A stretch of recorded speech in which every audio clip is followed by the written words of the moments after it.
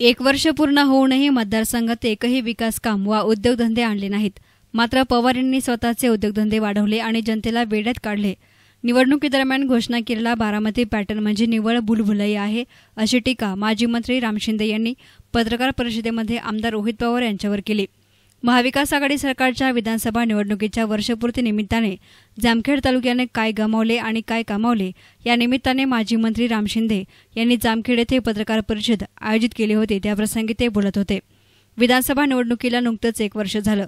मात्र गेल्या वर्षभरात कर्जत जामखेड विधानसभा मतदारसंघात एकही असे भरीव काम दिसून आले नाही असा आरोप करत प्राध्यापक राम शिंदे यांनी राष्ट्रवादीचे आमदार रोहित पवार यांच्यावर सडकून टीका केली. गेल्या वर्षभरात आमदार रोहित पवार यांची कारकीर्द कशी राहिली याचा लेखाजोखा मतदारांनी घेतला पाहिजे असं सांगत शिंदे म्हणाले की गेल्या वर्षभरात या मतदारसंघातील मतदारांनी आपले सर्वस्व गमावलं आहे. निवडणुकीच्या तोंडावर जामखेडला एका महिन्यात कुकडीचं पाणी आणि एमआयडीसी येणार होती ती कुठे गेली? गेल्या वर्षभरात एकही विकासकाम झालं नाही.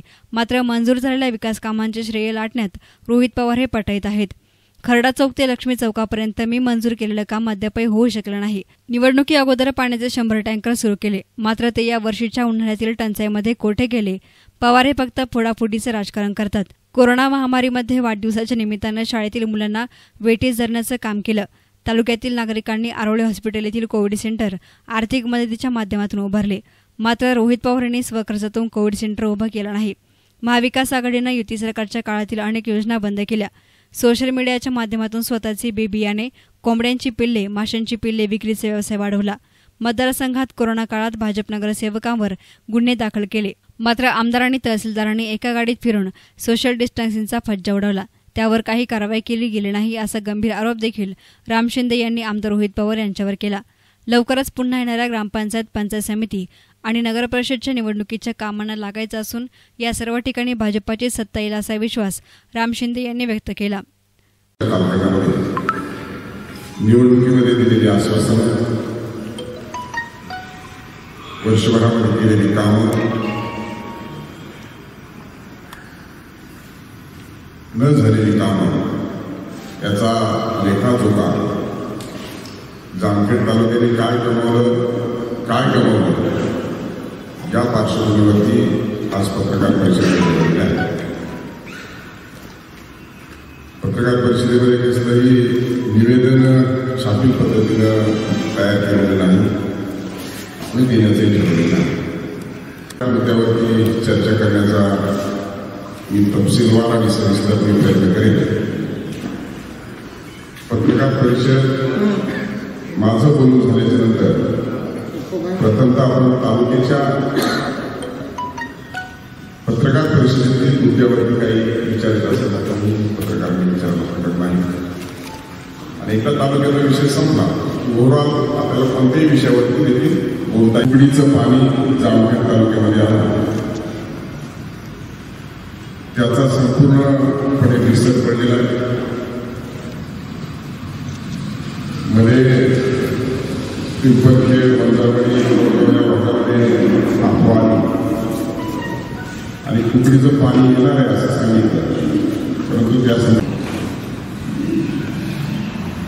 त्याचबरोबर एकही काम आज आगाय तालुक्यामध्ये सुरू झालेलं नाही मंजुरी मिळाली नाही प्रत्यक्षात कामाला देखील सुरुवात नाही जुन्याच कामांना मंजुरी असलेल्या कामांना आम्ही कारण ठरले त्याचं भूमिपूजन केलं. उदाहरण सांगायचं झालं तर आगीच्या हदगाव असतात. आम्ही आगीमध्ये निवडणुकीच्या अगोदर बोर लावला भूमिपूजन केलं. सगळ्या प्रशासकीय मान्यता करून त्याचं भूमिपूजन केलं असताना पुन्हा एकदा विद्यमान विधानसभा सदस्यांनी लगावले बोर्ड त्याचं भूमिपूजन केलं. धनेगाव येथील बंधाऱ्याचं पूजन देखील आमदार महोदयाच्या मातोश्रीनी केलं आता ते कोणत्या नियमात बसतं आमदारांच्या मातोश्रीने वडिलांनी भौतिकतेने भावाने असं करण्यानंतर आशिष घरामध्ये बसत नाही जामखेड ते थोडा रोड हा मंजूर होता गेले वर्षभर वर्षभराच्या कालखंडामध्ये लक्ष्मी आणि ते खंडा हे जे काम होतं त्यामध्ये प्रस्तावित ते काम पूर्ण झालं. माझ्याच कालखंडामध्ये त्याचं टेंडर झालं होतं कामही सुरू होतं कामही झालं परंतु लक्ष्मी आणि ते खंडाचं हे काम गेल्या तीस वर्षभराच्या कालखंडामध्ये पूर्ण होऊ शकलं नाही.